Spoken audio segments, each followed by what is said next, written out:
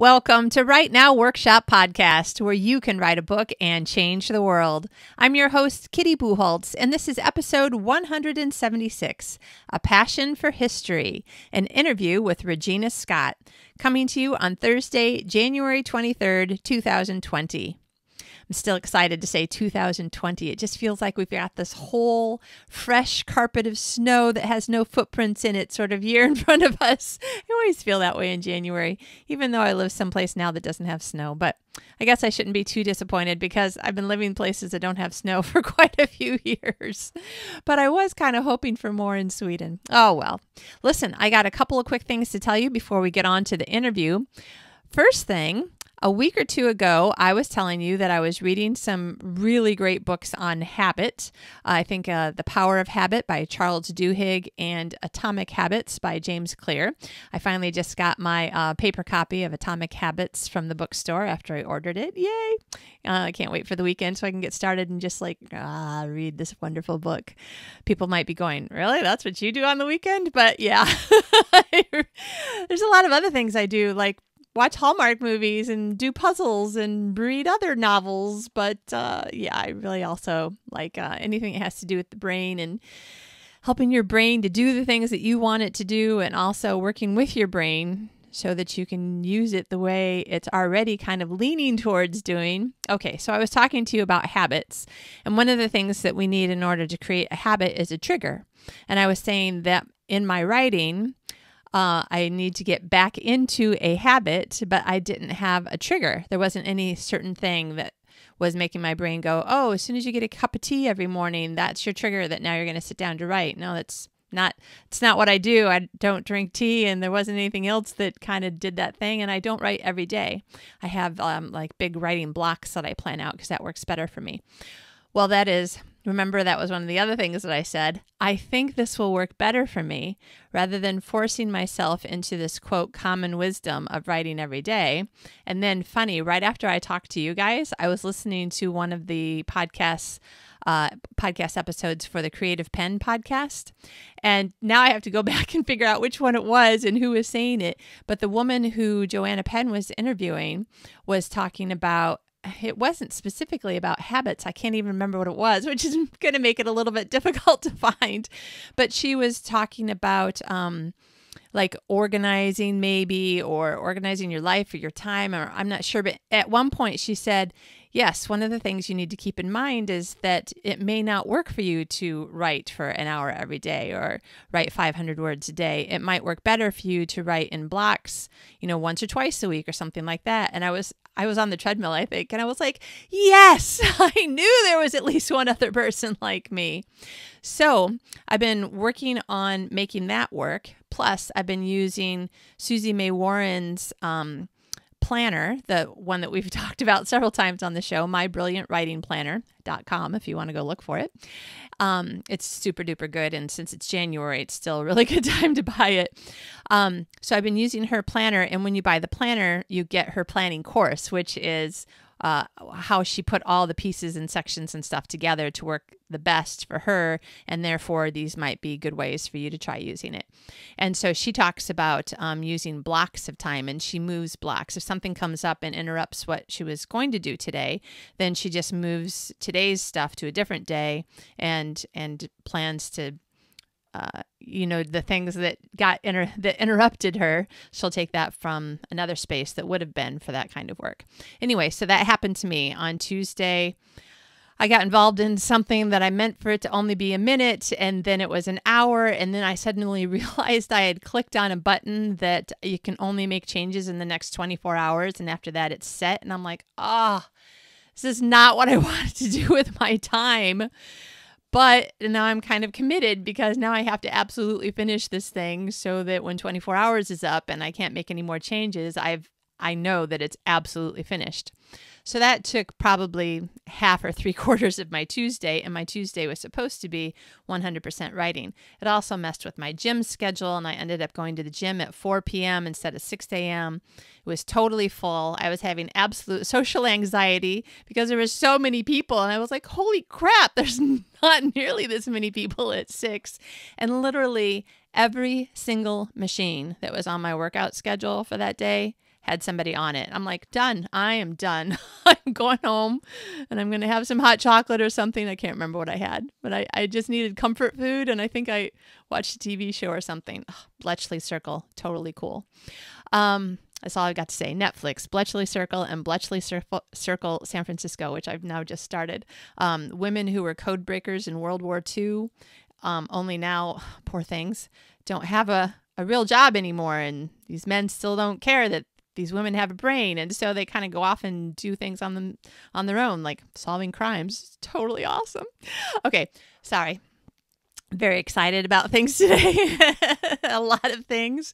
So I took Susie May's idea and said, okay, so Tuesday I ended up doing a whole bunch of left brain stuff. So I just moved a whole bunch of other left brain stuff that I was planning on doing Wednesday anyway into Tuesday. Tried to get all of Wednesday's stuff done on Tuesday so that then Wednesday could become my new Tuesday, which was my writing day. So yesterday I did writing or writing related stuff all day, meaning I had to find all of my notebooks, all of my notes, all of my digital files everything everything that I could think of because I have taken so many notes on this book. I'm so ready to write it, um, but they were in different places, partially because of moving a lot over the last couple of years. Um, I finally got started writing at two o'clock, and part of my brain was like, "It's already two o'clock. It's too late. Your day is ruined again." And then the other part of my brain went, "It's not ruined. It's only two o'clock. just write for a couple hours. You'll be fine." But I got on a total just you know, one of those wonderful times when you're so connected to your story, uh, you just have no need to stop. You're not out of energy, you're not out of ideas, you know exactly what's going on, which, you know, is partially because I've been thinking about this story on and off for at least two years. So, between 2 p.m. and around, I don't know what time it was exactly, maybe 7 ish yeah, maybe seven, um, with some writing, with some stop breaks in between where I had to stop and go, okay, I know the next thing that happens is this, but how exactly does it happen before I sit down and start writing it? So between two and seven, I, I wrote 2,506 words. 2,506 words. That might be the total of all the words I wrote last year maybe not. I'm not sure. I deleted a lot of words last year, but it felt like it. And I'm so happy. And I just feel like, oh, the world is a good place again. so, some ideas for you. Um, my blocking I that it's not my idea, Susan May Warren's blocking idea that I did this week totally worked you should try it if you if this sounds like something that you could do. So I was planning on writing all day Tuesday, doing a whole bunch of left brain stuff on Wednesday.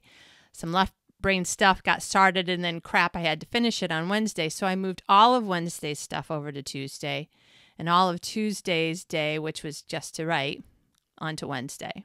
So that was a wonderful success. But then I had to ask myself, okay, what are you going to do Wednesday morning to make sure that you don't get involved in anything else and you start writing right away?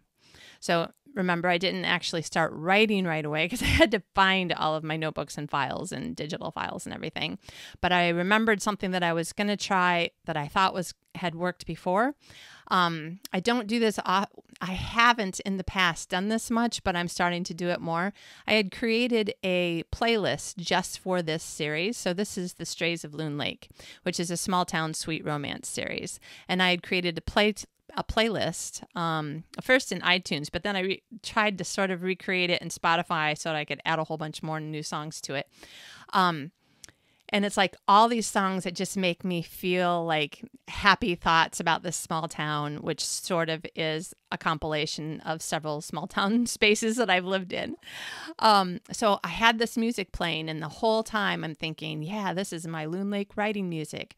Oh, this is great. It's my Loon Lake writing music. Oh, listen to the words in this song. Yes, that's exactly what Danny would do, or Jazz would do, or and that's what Jax is definitely going to do. That's what Tabitha might say. And so it was I was really happy I had picked good music. So I'd been thinking about the story even while I'm like looking for all these files. So it totally prepped my brain. By the time I had everything, I was ready to start writing.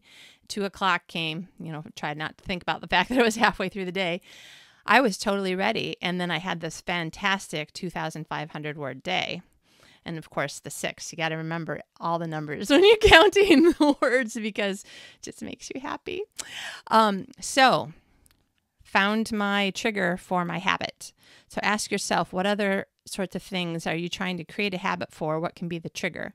Um, remember, I had also said that um, Tuesday I ended up kept putting off the gym because I had to finish this thing. I ended up going at four, and it was a total disaster for me. Um, just mentally, mentally a disaster. Ended up being a physical disaster. Everybody was on every single machine I needed to use, and I was like, okay.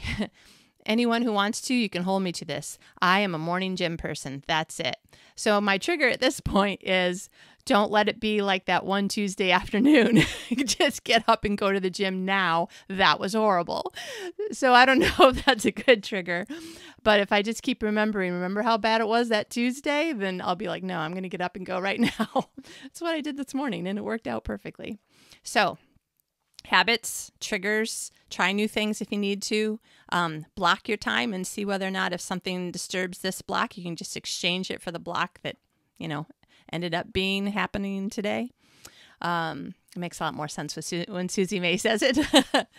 so, hopefully, that will be helpful to you as you uh, work on getting more words written this January. Yay! Yay for a new year and the first month of a new year. Yay. The other thing I wanted to tell you is the conference is totally on. It is so on that I'm so excited. I almost wish it were happening right away because I'm so happy. I'm also glad that it's not because I have a lot of stuff to do. I have so many ideas, you guys. This is going to be a great conference. I'm so excited. I hope that you can make it. So, the Write Now, the first annual, maybe. We'll see how everything goes, whether or not it should be every year, every other year. The first Write Now Workshop Writers Conference is definitely scheduled for October 7th through 11, 2020, here in Malmö, Sweden. Yay! Uh, I don't have the location yet, but I have so many ideas for potential great locations. There's a couple that are just very kind of um, artsy, creative buildings. There's one building that's from the 1400s and it's just beautiful. Um, I just can't even believe that you could build something, you know, 600 years ago and it's still standing and still looks fabulous. Um, and then some more contemporary places. So haven't nailed down the place yet. I do have two great speakers now. Um, I am not going to say any more yet until we get some things like totally ironed out. But um, really, really cool topics. And um, yeah, I can't say any more yet, but I will tell you soon. Two great speakers, plus um, quite a few speakers that I think are going to be uh, yeses, which is also very exciting, and in several topics, and in not just fiction. So um, we've got things on research uh, of different uh, genres in fiction. We've got some stuff that is not fiction, so that will be good. And um, and this is just the beginning. This is just January of me planning for an October conference. It's going to be so incredible by the time it gets here. Um, part of the reason why it's um, 7th through 11th, so five days. The conference itself is Friday and Saturday, the 9th and 10th. Um, but I wanted, this is a beautiful area of the world, and I wanted to give you an opportunity to make this your vacation destination writers conference. So the first two days, Wednesday and Thursday, will be an optional add on package that is va- basically vacation items. So, uh, tours and stuff that I will uh, pre planned for you. So basically, I'll have planned out two full days of seeing fabulous things in Malmö and in Copenhagen, Denmark, which is only a half an hour train ride away. And, um, and I'll have totally planned out for you. Also, you can just um, not take that option and come early and do your own thing, or stay late and do your own thing. And then the conference itself is the Friday, Saturday. And then the second optional package will be the Sunday portion, which will probably only be about half a day, maybe six hours at the most, but probably, yeah, in that four to six hour range because I figure some people might want to start, uh, you know, getting to the airport on a Sunday afternoon. Um, that is going to be all the spiritual side of creating. So, um, I have a couple of ideas on uh, where I want to go with it. There's one thing that I'm almost certainly going to use from a Brene Brown book. Um, she's got great books. I love every single one of hers. And I just finished listening to the audiobook of Braving the Wilderness. Check it out. Great book. And it made me think, oh my gosh, there's this two or three t- two or three things in it that I'm like, this is what we need to talk about and encourage ourselves and like just get really filled up on creative energy. So um, Sunday will be all about kind of the spiritual side of creating and all about renewing creative energy and that sort of thing. So, yay, super excited. Okay, that is it for the announcements. I have a great interview for you. Regina is just so interesting, and she's done so many things in the name of research. I hope that she encourages you to go try a whole bunch of things, live your life even fuller in the name of research. So, here we go with Regina. Have a great writing week. Today's guest is Regina Scott.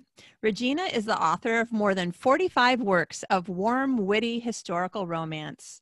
Her writing has won praise from Booklist and Library Journal, and she was twice awarded the prestigious RT Book Review's Best Book of the Year in her category. A devotee of history, she has learned to fence, driven four in hand, and sailed on a tall ship, all in the name of research. She and her husband of 30 years live south of Tacoma, Washington, on the way to Mount Rainier. Welcome, Regina. Thank you. Thank you for having me. I'm so glad you're here. This is fun. I I did not realize until I looked at your website that you write one of my favorite kinds of books to read, the kind that is the fabulously guilty pleasure that I would never want to try to write ever, but I love, love, love reading them. And that is uh, Sweet Regencies, even though that's not the newest book that you have out. But that's true.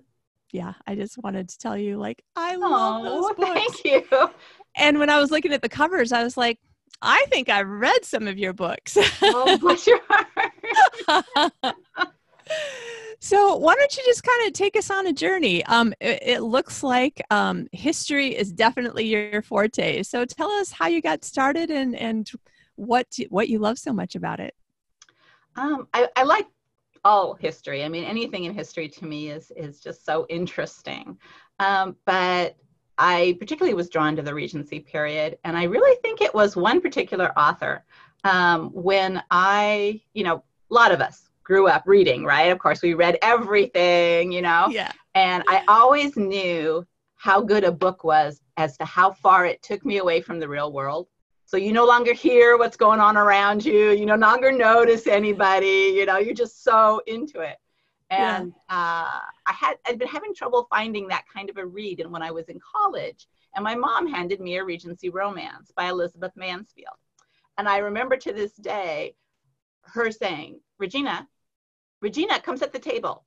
Regina Ellen, come set the table. And was like, who? What? You know, because I was nice. so deep into Regency England. And at that point, it was just like, I was gone. That's it. I love this period. I want to write about it. And so, yeah. That's awesome. Uh, there's a part of your brain that's like, just ignore that. There is no setting of tables. That's right. Exactly. I'm in Almack's. I don't, you know, I'm sorry. I'm dancing with the Duke. I don't have time to set tables. That's awesome. You know, it's such a different like I didn't think about it too much until you just said something that made me remember like it was such a different life that we lived growing up because it was the paperback books that your mom had mm-hmm. that you either were or weren't allowed to read and read anyway whatever you could find at the library and then mm-hmm. whatever you could come up with uh, pocket change to buy of your own but right. I, there's so many books to read now. Like I'll never read, yeah. I literally have been going through my bookshelves, having to put in a pile books that I probably would read, except that I have so many books. And are they really books that I'm going to read before all these other books that I want to read more? And how many more years do I have left to live? oh, that culling process is so hard.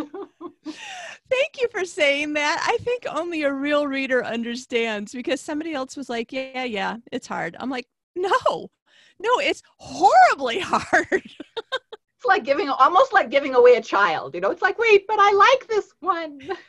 yeah, I'm sure I would like this one if I just That's had right. time to read it. That's right. It looks so good so then so then you read you fell in love you were in college at that point yes I was. And I really wanted to do the period justice. So I actually spent 10 years studying and reading and trying to understand before I finished my first regency. So, wow. Yeah. Uh, were you a history major in college? Nope.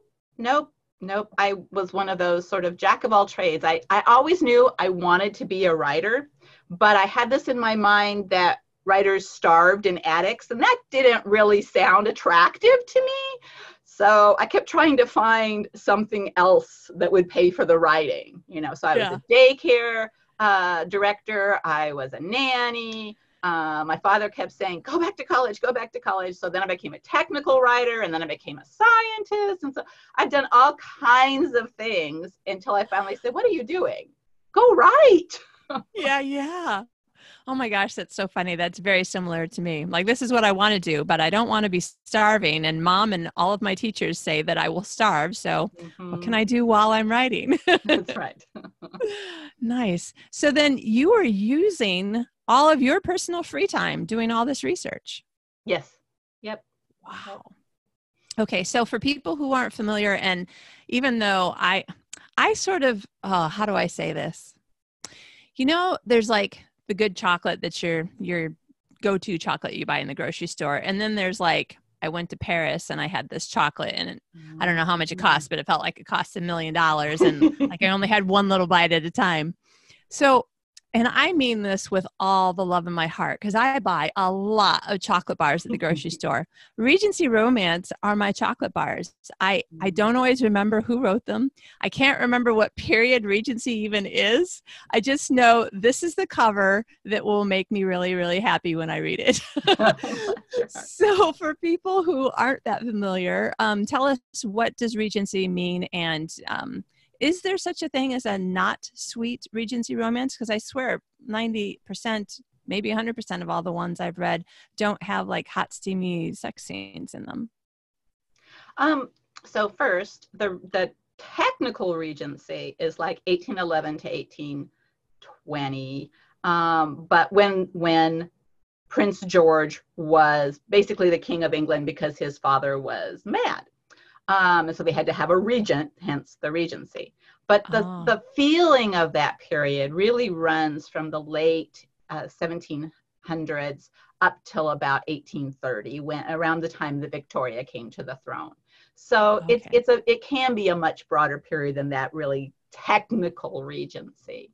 Um, and it's the same time when Napoleon was nam- rampaging across the continent. You know, for people who have watched um, what is it the um, like a master and commander and those kinds of things you know or the Sharpe series um, it's that same time period you know that's when jane austen was writing so she's the mother oh. of all oh. regency writers right oh. Know, they were contemporaries to her but you know they're regencies to us but so you know that it's that um, that time period so and okay. then your other question uh, the next person that sort of took Jane Austen's kind of uh, style and the time period and really popular popularized it was Georgette Heyer. And okay. she yeah. people just love her, you know. Um, and so a lot of books then kind of followed that same pattern comedy of manners a lot of times in the drawing room you know the tension of society um, but there's a whole nother branch now of much hotter regencies. um, so I I tend to like the sweeter ones. That's just that's just what I prefer to write. But there are some definite there are definitely some very good um, steamier historicals if that's you know what people like these days. Yeah. And um, so this this original branch of of regencies, do they do they seem to all have some kind of humor, like a Jane Austen esque humor? Because either they mostly do, or I only pick up the books that look like they're going to give it to me, and then they do. That's right. Um, not all. Some are more rompy, and I must admit, I I don't ever stray toward the more dramatic. My mine tend to be, you know, have some humor in them and i have a few that i would actually push on out and say they're they're literally romps you know it's it's silliness from day one um, but uh, but there are ones that are more serious and and darker. There are some people have gone to um, more the paranormal, so that there's ones where the hero's a ghost or the you know there's a vampire you know or that kind of thing. So there are some little edgier ones out there too. Wow. Okay. That sounds fun too. All right. So um so thank you for indulging me and my little um Regency Romance Heart. now, um, the book that is, I believe it's still your latest book, unless you've had um, another new release since uh, you and I started getting getting ready to start talking. Your newest book then is called A Distance Too Grand, right? Uh, technically, yes. Although last Friday I did launch a new Regency series. So. Oh my gosh. Okay, let's talk about a distance too grand, and yes. then we're going to have to come back to Regency. okay. So, um, so tell us about this. This is actually with a new to you publisher, right? Yes. Yep. This is um, with Revell. I am so happy to be with them, and I cannot say enough nice things about them. They are just wonderful to work with. Um, but I, I had I dabbled in Americana here and there, and I wanted to do um, I wanted to do something grand. I wanted to do something big, you know. So I envisioned this story about a, a young lady who is a female photographer and at the point where i mean she's tutored under her father her father has now passed away and if she's going to continue she has to step out and she has to do it on her own and he had one last contract which he had signed before he passed which was to photograph the first uh, army survey of the north rim of the grand canyon and so she shows up and says hey i'm your photographer only to find out that the man leading the expedition is the man she once refused to marry uh-oh yeah. and yet I have to say they were very um they were very polite. They weren't uh 21st century, you know, throwing um nastiness at each other on social no. media kind of people. They were very polite. no. This is true. Which honestly, I like that in a character. Um there there's um everybody likes different things, but I really like when somebody can be like I really despise you, but will you please pass the butter? you know, like just, uh, just good. And then Dot, oh my gosh. I do enjoy Dot. She's besides Meg and Ben, my main characters. Dot's probably my favorite. She says it like it is. She um, isn't afraid. She's been around the army her entire life and she knows how to deal with these guys and she knows what she's doing around her cooking and don't get between her and her cinnamon. That's awesome. You've got some really great characters. It was really fun reading. Um, though I have to say, one of the things that I didn't quite realize until reading your press release, and so this is a question, I didn't realize that this was the centennial year. I, I assume 2020, but tell me if it was 2019, the centennial year celebrating the Grand Canyon as a national park. Was that the celebration? Yes, and it was 2019. Okay. Um, was their was their 100th year as a national park, and in some ways that surprised me because you think of of it is as this quintessential American, you know, icon, and that yeah. it wasn't a national park until 1919 is kind of surprising, you know, That's when you think really about late. it. Yeah. Okay, so then, so here's my question. I'm reading your press release, going, wait a minute were are you just one of those remarkable people that you stumbled across a date or just knew it and went i know what i'm going to do because it'll come out in two years uh, on the centennial or was it a total accident and you all went this is great! Total accident. Nice. Maybe your books are being sold in the grand canyon park um, tourist center. We are hoping. We, we, i know they made a play for that. I haven't heard whether it worked or not but i'm kind of hopeful it is Oh, nice. Oh, if only I still lived in Phoenix, I would drive to the Grand Canyon just to A, see the Grand Canyon for the fifth time and just see if your books are there for you. Yes. Thank you. Oh, so North Rim. Never been to the North Rim. If you live in, uh, this is this is me making a wild generalization based on living in Phoenix for seven years. But if you live in the southern area, you know, south, anywhere south of the Grand Canyon, then it seems to be that the tourists are all going to the south, and there's tons and tons of tourists. And it seems like um, the people I knew who are interested, like me, in going to the North Rim, when we find out the trial it will take to get because then you're like wait it is a giant hole so you That's would have it. to and there's go still there's no bridge, okay? You still have to go around the giant hole. Yeah. yeah, yeah. so was there any particular reason that um, you had them coming from the north or from the south was there anything historically that was interesting about the north rim or was it the first thing that the army actually did go see or I was looking, I looked at two things. One, there's an entire history of who's explored what parts of the Grand Canyon, and that they didn't get to the North Rim as early. So um, that seemed like it was a little more, you know, unknown, you know, kind of thing. oh, um, yeah. The other thing was I had to think about where the army would come from. And if they Mm-hmm. came from the south, it was a long way. So I and, and I, di- I couldn't plausibly make up a fort closer. Um, so I plausibly made up a fort to the north because they could get there faster. I didn't want them to be on the road. I didn't want her to meet with him and then spend three weeks doing nothing but traveling through, you know, to get to the Grand Canyon. I wanted it to be, you know, three, four days, we're there, you know, kind of thing. yeah And That's a good was idea. to do that with the North Rim. Now, okay, so um, I'm always looking for things that uh, readers can use as a takeaway. So, if anybody is writing hi- historical fiction, anything using real history or I don't know, probably even present day facts in your fiction, um, this is an interesting question. Um, you were thinking through uh, what will work in my story that is actually still believable in the context of the, the, greater reality and the re, Mhm. I don't know, real story, so to speak. So tell us a little bit about how you work that sort of thing in um, in any of your history. Like, w- what are some tips that you might give to others about making things work the way you need them to without making it completely outside the realm of believability? Sure.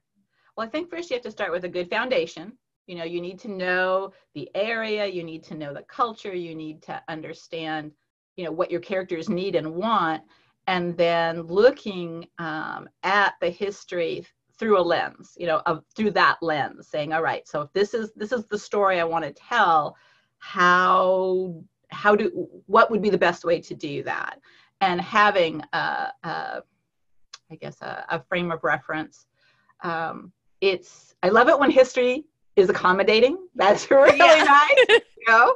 Um, the um, the latest example i was i was i really wanted a little spa town in england preferably on the on this on the coast across from france across the channel.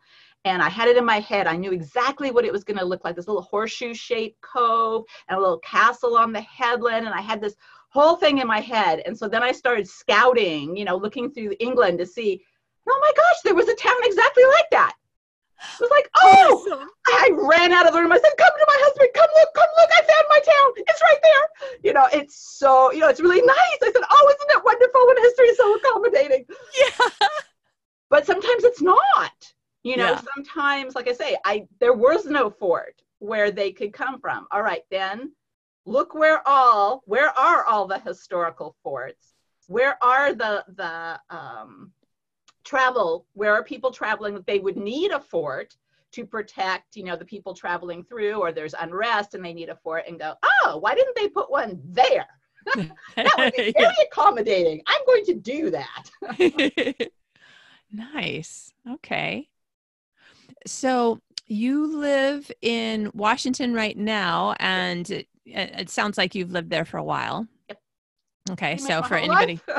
Oh, wow. Really? Yeah. Well, that's cool. All right. So for anyone uh, listening, not in the United States, so we're talking the very upper left corner of the country. And the Grand Canyon is not all the way south, but it's pretty far south. So you have done a lot of very cool things in the name of history. Have you been able to take a trip to the Grand Canyon? Yay. I meant in the, in the name of research, but yeah. So tell us about that and how did it seem to you? Like the first time, I just remember my first view. It's it's so incredible that it's it's well. Anyway, I find it shocking. So so what was your first view, and then how were you thinking about it when you were putting together the story? I actually saw the Grand Canyon before I wrote about it, which was which is good. Sometimes I go after I actually get a chance to go afterwards and I go, oh, I got that right. Oh, I didn't get that so right. Um, so it was very nice that I'd actually been there. Um, but uh, to me, it it was surreal. I mean, you walk out, you know, you, you get out of the car, you walk out, you you you know walk out to the very edge, and you look, and it's like somebody took an old-fashioned uh, backdrop painting from an old movie and plunked it down in front of you and you think this can't be real. It just is so rugged and some the shades and the tones and the textures and it just seems to go on forever. And that and the stillness. I mean there were lots of people around you know tourists like me but it just seems so still. Like everybody was kind of holding their breath. It was just i don't know. I found it a very inspiring place. Regina, you and I sometime we need to get together and have coffee because we keep finding or I keep finding things where I'm like, me too. so my husband works in um, film and video games, special effects, animation, different things like that. And um, and we love, love, love movies. We've both worked in the film and television industry. Oh, so cool. like um the the behind the curtain thing, like I get that. But when you walk up to something real and your first thought is, wow, this is like the most amazing um, movie backdrop I've ever seen. And you're just like, but it isn't one. But, but how can it be real? It's exactly. Yeah. It is. It is mind blowing. I completely yeah. agree. yeah. Oh. And just to to give you one little fun thing. So one of my favorite memories since we lived in Phoenix, we were able to go several times. It's oh. only I don't know four or five hour drive. Yeah, it's great. I got to go one time on Easter Sunday, and um, there was a church service on the rim at oh. at sunrise. Oh, and so wow. It was amazing. But the most amazing part is so there's, you know, hundreds of people facing the rim and then four or five people who are leading leading the service with their back to the rim. So, right as the speaker said, and then he rose from the grave, the sun popped right up over oh, the north rim, wow. and everybody went, oh! And the person like stopped for a second and just looked around like they didn't. Like, what? What? What? what? oh. Oh, I have got some great, great memories of that place. It's it's amazing. So, yeah, I was That's I was great. very happy to read about it. Good. Yay. Well, I don't want to take you away from the new book, but so now we've got another new book. So tell us about what the other new book is. So, as I was saying, I was looking to start my own town. I mean, it's about time, don't you think? I'm starting my own Regency Village. That's it. That's um, right. so, and it's set on um, the Dorset coast, so the sort of the south of England looking toward France. Um, the series is set in 1804. So, before the technical regency but very much still that that feeling the same style of clothing the same um, cultural uh, and it is at a time when napoleon was trying desperately to invade. So there was a lot of fear um, that he was going to make it. He was going to he had ships he had something like 2000 ships ready to take his troops you know fishing boats and anything he could get his hands on all massing to start they're just waiting for the right weather the right everything to cross the channel um, and so everybody on the channel, on the England side, was terrified. So plop down a little spa town that is known for coming for the waters and promenading and dancing. Um, and it makes for a good, you know, a, a good bit of tension there. So that was the genesis of the town. The little town's called Grace by the Sea and that is the name of the series as well. And the first book, The Matchmaker's Rogue, um, came out last Friday, and the heroine is the hostess of the spa, so she has quite the position of authority and esteem in this little town. Um, and the the rogue is the uh, gentleman from her past who she it was her first love who left because he wanted adventure and greater things, and now he's come back with an agenda to unearth all the secrets of this little town. And so they, they also butt heads because this is her town and she's not messing it up. nice. Oh my gosh, I have to read this one too. now, Regina, do you do all traditional publishing or are you a hybrid publisher? I am a hybrid writer. Um, so I have Revell, and like I say, I love them so much. Um, um, but I do, I, I I write a little more frequently than some traditional publishers like to put out books. So it's good for me Yeah. to do other things. And even though I, I'm just so enjoying this series with Revell, which is going to feature um, the history of our national parks, a number of them, um, I can't get away from my Regency. so, um, so I've been self-publishing those. So that's Nice. that's been fun. Um, Yeah. I always thought I would be an awesome self-publisher. I'm very self-disciplined. Um, I love learning new things. You know, so this not I'm not afraid of the learning curve. I'm a very hard worker. But oh, I wish I could. I wish I wish I had a dozen Revells because they make it so easy and so so wonderful. So um, we'll see. Let's see what the what the future holds. But right now, Yeah. I'm hybrid. Yeah. So, for people who are listening who either are one and thinking about doing the other so that they'll be hybrid, or they're just um, thinking, which direction should I go, pros and cons, um, what are some of the things you mentioned? The thing that I hear most often from hybrid publishers, uh, hybrid authors, which is I can write faster than they can publish, therefore, it just it's nicer for me to be able to publish more books myself. But what are some of the things that you see as um, either pros and cons or unexpected struggles you, you mentioned a little bit of that or the unexpected rewards Sure. Um, I think it, it's it's lovely. Um, I guess it's. I always say it's it's like a it's a double-handed it's a double-edged sword. On the one hand, not with Revell. My covers for Revell are gorgeous, but you know, every once in a while with a traditional publisher, you get a cover and you go, oh, hmm. What Yeah. made you think a pink prom dress was a good choice? you know? Um, and then you have this fight and sometimes you win and sometimes you lose. Um, when you're self-publishing you can say this is what my hero and heroine look like. This is what they are wearing. This is what they are not wearing. Um, and you can you know you you you have more control that way. For i was surprised. For me that is a double-edged sword. Because when you are traditionally published and you get the pink prom dress and the reader writes you and says I am very disappointed with you. I always thought you were historically accurate. Don't you know that's a pink prom dress? um, you say, Yes, I didn't get to choose my cover. That was my traditional publisher, you know. yeah But when you self publish and a reader writes you and says, What were you thinking, purple? Who wore purple? you all you can say is, I thought it was pretty. now So, the other cool thing i read about you is that you have an entire closet full just of period costumes I do. Guilty. so that so um that I'm trying to get my finger in the right place. That right back there, that's it.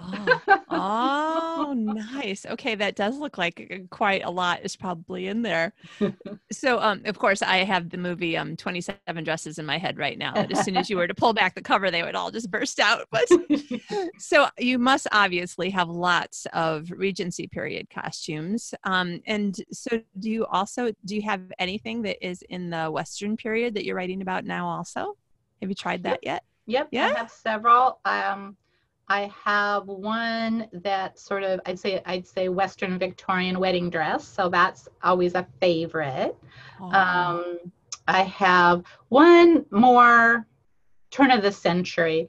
Um, we think it was also a wedding dress, but we're not entirely sure. But it has the the sweetheart necklace and neck necklace neck um, Neckline. here and uh, the big puff sleeves and everything. So that's really fun. So, um, and then I have some odd things from the days when my husband, when we were younger, my husband and I used to do science fiction conventions quite a bit. So I also have um, a full on, it looks like gold chainmail floor length. Yeah. Yeah, yeah. Wow. So from, from any particular book or movie or just no, more of a fantasy kind of, yeah, yeah, kind of thing. And yes, so yeah, and I have a crown. I, it has a snood, and then it has the crown that goes with it up here, and a big staff embedded with stones. And it's it's uh um I think it's a it's part of an no, it's not elk. I've never quite figured out what the horn is on the end, but it's curved. We always say it's narwhal. I don't think it really is narwhal, but we always claim that. You know, let's. nice Oh man. Now, I don't know that I um, specifically asked you whether or not you teach classes at writers conferences or anything like that. Is that something that you ever do? I have from time to time. Uh, my husband and I moved uh, here about five years to go, go to be closer to family. Um, but where we used to live on the other side of the mountains in Washington, uh, I taught classes regularly with the, at the community um, education program on how basically from the idea to actually getting the manuscript done and then once you have the manuscript what do you do from there to publication so i, yeah. I taught those fairly regularly Okay, so I didn't give you any warning about this question. So just if something comes to mind, do you have any like uh, top tips, like to dos or don't dos that um, just always stays with you because you found them to be really helpful tips for people? The one thing that I keep seeing, and, and I'm kind of sad because, again, with the internet, we have so much information at our fingertips but I still have people come up to me and say, I want to get my book published. How much do I have to pay the publisher? Oh. And I just oh. go, You don't. okay, yeah. if it's a real, real, if it's a publisher, they pay you. You don't pay them. Um, if you choose to be the publisher, that's something else. If you choose to self publish, then you are taking on that role and you choose the cover and you choose who formats and you choose all those things. Um, but there are still so many people out there who think, I wrote a book, now I have to pay someone to publish it and then they'll they'll send me royalties. That's not how it should work. Yeah. So I always have to be so careful with that. Um, it hurts me to hear people who are taken advantage of. And unfortunately, there are a lot of scams out there. Yeah. And honestly, I keep thinking, well, certainly everybody knows about them now, and those scammers have no customers. But um, it was just this week I read a post, something on social media, and uh, the beginning of it was I already paid my f- publisher $4,000 for blah, blah, blah. And I thought, oh no, oh no, why didn't anyone tell you? That's exactly. not a publisher then. Exactly. So, yeah, I am. I am always surprised that like you say that that still happens. Um, yeah. so definitely if if you're if you want to publish a book look into that background and make sure you're getting and there are there are places that that they call assisted self-publishing but be careful because yeah. so much of that you can do all by yourself. You don't need to pay exorbitant fees to people. Yeah yeah definitely. I like that. Thank you for mentioning it because i I always forget because it just seems um and also I'm just not the kind of person who sees who thinks about how many scammers in the world are still like making a wild business out of whatever they're scamming. I know. No, me either. I tend to think the best of people. yeah. But but I also want the best for people who are coming up in the industry. I want them to have a good foundation too and, and not be taken advantage of like that. Yeah, yeah. So let's um, talk for a minute about your habits, your um, how you um, form your schedule, not necessarily in a day or in a week, but overall, you have found a schedule that works for you. You have, oh, what is it? Do I don't more than 45 more than 45 books for sure so yeah. you've you've figured out some kind of a, a way to work that works for you. Can you tell us a little bit about it? Because maybe there'll be some things that you do that somebody else will be like, you know what, beginning of the new year, I'm going to try that. Sounds like it could be something that works for me. Definitely. Um, I, I, you know, over the years, I've learned about how fast I can write. And I'm really inspired. I can go more than that. If I'm having a really bad day, it might be less than that. But I know about how long it takes me. Um, I'm also a multi draft author, and that um, I always envy. I have a friend who sits down, writes the book, does one light editing pass, and she's done. Oh. Not me. I just don't write that way. Yeah. Um, so my first draft is very much getting a feel. Um, and maybe it's because um, when I first started writing, I'm I'm what you know the whole pantser plotter thing. So I'm more of a pantser. I'm more of, ooh, I have this idea. Let's see where it goes, you know? And I was definitely that way before I was published. Um, I would just sort of jump to this one and, oh, this is getting boring. I'm going to go over here, you know? And, and, but there's a couple problems with being a hardcore pantser. And one is when you get bored, you go to something else and no book ever gets finished. Oh, yeah. And that's, that's not good. You don't, you don't make forward momentum if you never finish the book. It's hard to publish. Um, and the other thing with being a pantser is that sometimes you run down rabbit holes. You think, oh, this is really cool. I'm going to go, oh, I can't even plot my way back from this. I don't, huh, okay, back up. And so you waste, you know, you waste a good amount of time. Um, so I, and then once I got published, it's kind of funny. Publishers want to know if they're going to buy another book from you, what it's going to be about and how it's going to end. Who knew? What? Hey. so I had to think ahead and I had to plot. So, um, but I have found for me, if I plot it out to the nth degree, I lose interest. I already told that story. I don't need to tell it again. You know. Yeah. So I do enough. I do enough historical research to make sure it's plausible. That that this is what that this could have happened in this time in this place um, and I get a kind of a feel for my characters and and I have a basic sort of very very high level outline of where I'm going kind of the main main big plot points right and then I start writing um, and my first draft probably looks a lot closer to a screenplay it's it's dialogue it's um, a little bit it's action it's a very little narration and when it comes to description very many times the word just says describe and I don't stop to think, well, gee, is her dress pink? I wonder if it's, well, let's see, it's daytime. Is it muslin or would she be really showing off and wearing silk? Um, you know, if I do that, I can't, I just bog myself down. And so yeah. I save that for the next draft and I, and I write the whole book out. Um, and I also do something that I know is really odd in this day and age. My first draft is longhand with a pen in a blank book in a journal. Wow. Um, because as I was going up through my other many checkered careers, um, writing longhand is creative, typing is analytical. And if I try to rough draft, I've tried a couple times to break myself because it'd be so much faster if I could just type it the first time. Yeah. Um, but typing it is analytical. And once again, that editor hat stops slipping on and going, oh, wait, succumbed succumbed is a very big word. Do I want to throw it in now? Do I want to save it for later? You know, it's no, I just need to write the book.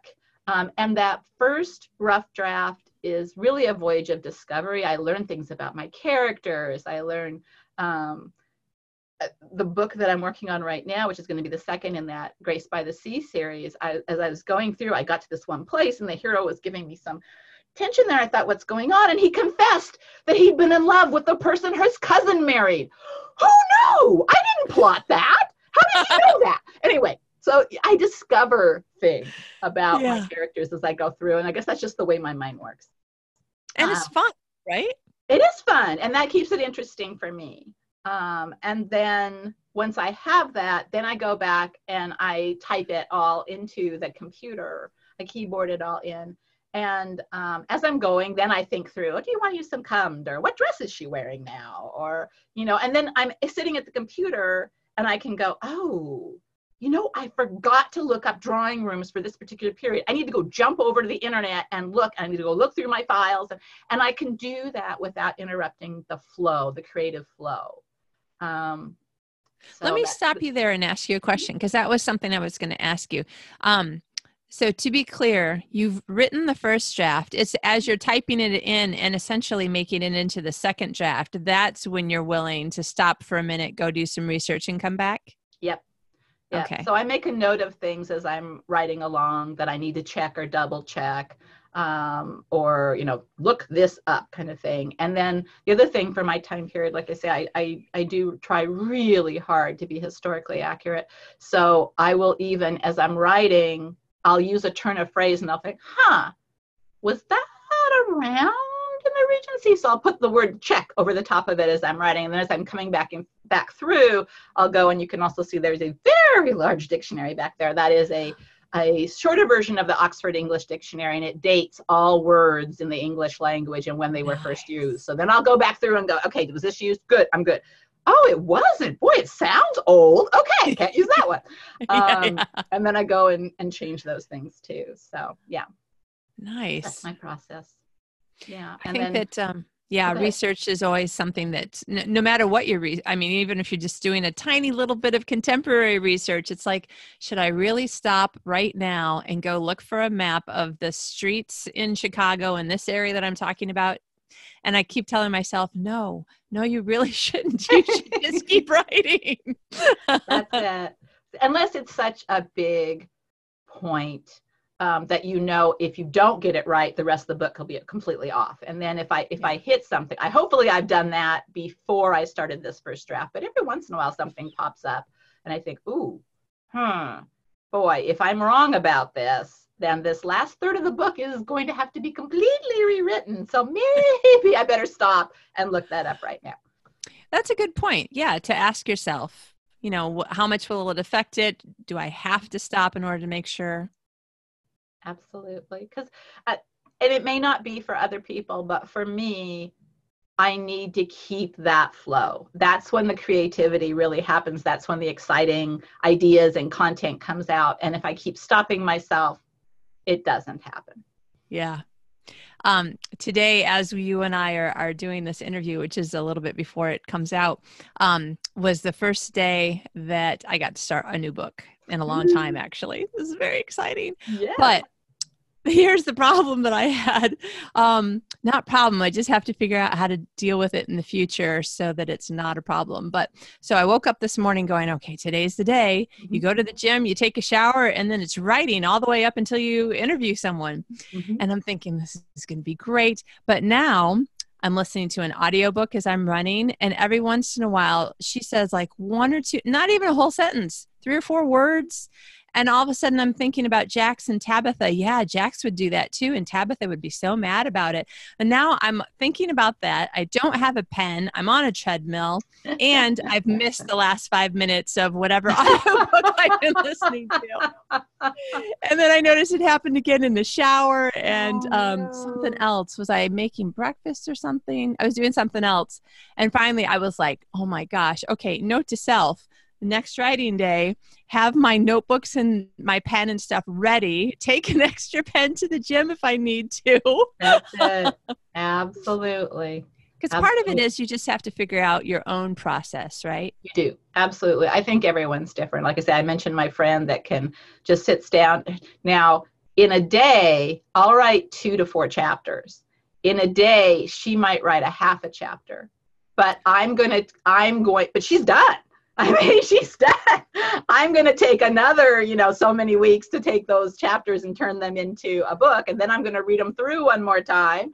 And then I'm going to send them to a critique partner. And then I'm going to revise it based on the feedback I get from her. So by the time we're done, it's about the same amount of time, you know, yeah. but it's a completely different process. And yeah. It's, I think it's really good. It's hard when you're first writing, I think, to figure out what your process is and what works for you. And I think your process can change and evolve over time. I'm finding right now, um, for much of my life, as you as you mentioned, writing it was sandwiched in around other things. So I got very very good of dropping into the story fast and you know maybe it was only you know a page or two before I had to pull back out and go take care of the kids or you know do something like that. Um, but now I'm at the point where I've phased out of almost all my other obligations and I get to just write. Oh. And I sit down and I go, I have all day. What am I going to do? Huh. And so it's, I have to really think about it and, and, and maybe tweak it a little bit because it's so, I'm so used to writing in short bursts over, you know, the course of a day, you know, breakfast, lunch, dinner, after work, you know, that kind of thing. And now I have two, three, four hours to sit my behind in the chair and I'm going, wow, how do you do that for that long? So, yeah. you know, I, ha- I have to think through. I'm still in the process of thinking through because it has been a very successful process for me. Uh, yeah. Uh, and how do I adapt it now? Because the thought was, oh, I have more time. I can write more. Maybe not. So I find yeah. myself going, oh, I've been sitting here a while. I should get up. There must be laundry. I, I, you know, it's it. Maybe I should check social media. You know, it's it's. I have to yeah. myself. I have to I have to really think through. So your process can change, and it takes a while to figure out what best works for you. And some of the best best advice I've heard recently is know that process when you take a class, when you go to a workshop, when some other author says, oh, you should do this. And think about your process that works and say, oh, that would work really well for my process. Or, whoa, that would throw my process out the window. Do I really want to do that? Maybe you do. Maybe the process isn't working so well. But if it's working really well, be careful because you can yeah. really derail yourself. Yeah, yeah. Um, so I mentioned my husband and I have been moving around a lot because of his job, which was super duper exciting in the beginning and absolutely exhausted, uh, exhausting near near the 15 year mark. Um, but now we live in the same place. We've been living in the same place for more than a year and a half. I'm so happy. That's awesome. and so now I'm like, okay, I I have this thing finished now this is finished now this okay so so now i'm going to be able to write all day but also i'm doing these other things you know, i'm going to put on a conference i'm working on some other kind of big teaching and speaking things that um because that's just i love that. Plus i've got the podcast i'm like okay so it's not all day every day you're going to have to figure out how to get each of these things done. But i was talking in the um intro to last week's podcast that I thought, oh, you know what? I'm going to do uh, f- for now. I'm going to try what most it, what seems like most people try but maybe they're just vocal um, which is writing for a set amount every day or yeah. scheduling out their writing and mostly making it every day and so i kind of tried that and i got really nothing accomplished and then i stopped and i asked myself when i've gotten the most writing done how has it worked best for me and man, I think that is a great thing to ask yourself, just like absolutely. you did. Yeah. Because absolutely.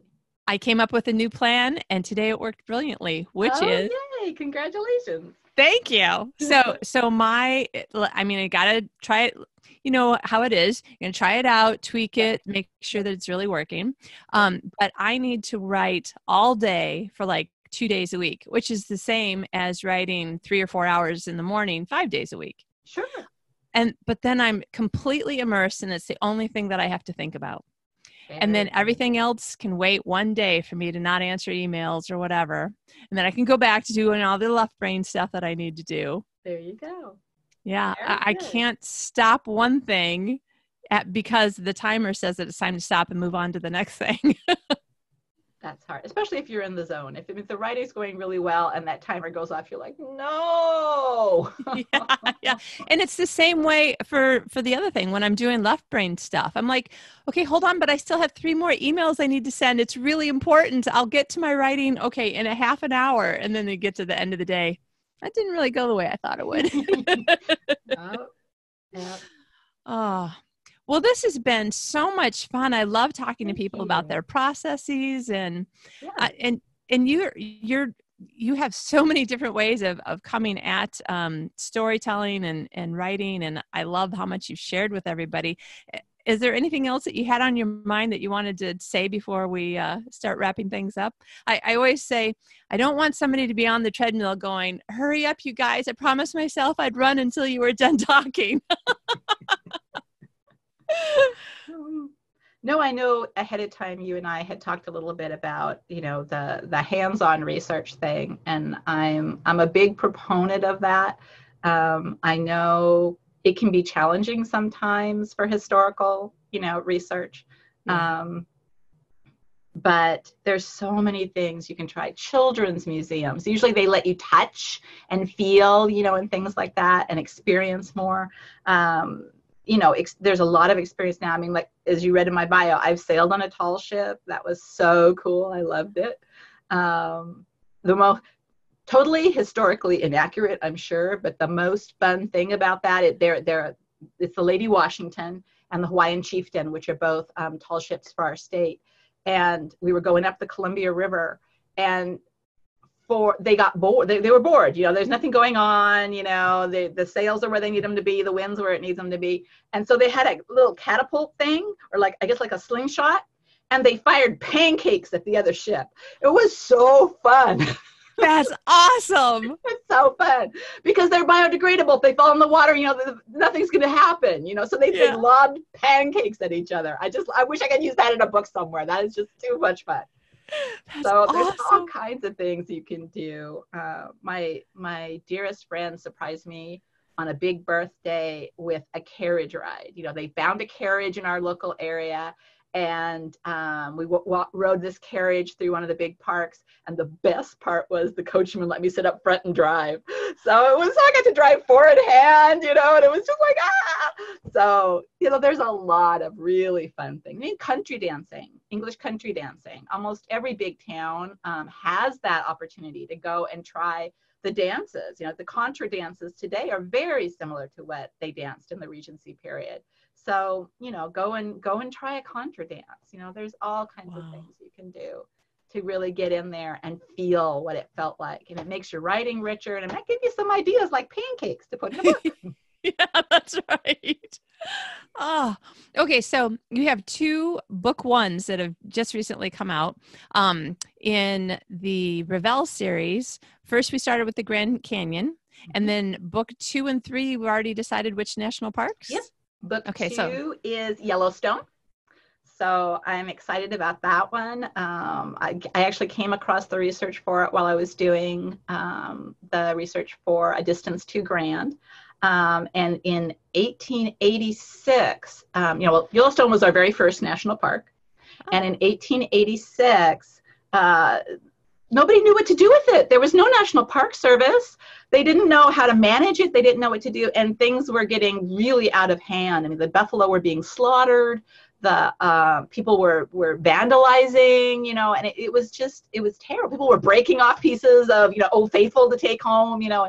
Wow. It was pretty bad, and so they gave control of it to the to the army, to the cavalry. Oh so wow. this is when the cavalry has ridden in to save Yellowstone. So I'm I'm enjoying. That was a lot of fun. That was a lot of fun to write. Hmm. Um, and then I always hoped that the third one, and it's going to be, is going to was going to be set in Mount Rainier because that's in my backyard.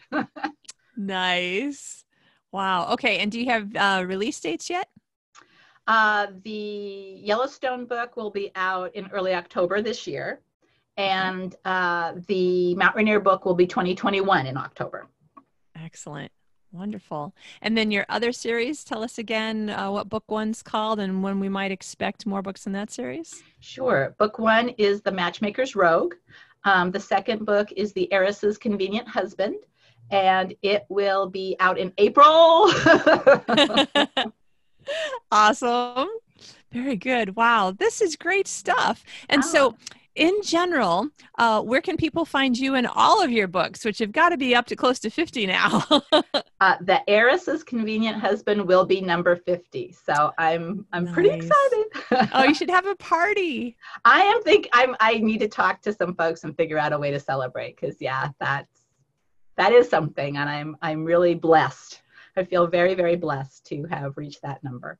Um, you nice. can find out all the information at www.reginascott, R-E-G-I-N-A-S-C-O-T-T dot com. And there's all the other information on my social media contacts and my email and my newsletter sign up. So you can find out when the next book is coming. That's right. I saw that today and I was like, okay, I have to find out because I love Regency. so I'm already signed up. oh, bless your heart. Thanks. Awesome. Regina, this has been great fun. Thank you so much for taking time out of your writing day to share with us. You're very welcome. Thank you so much for having me. And I hope your readers or your listeners are just excited to go out there and write about history.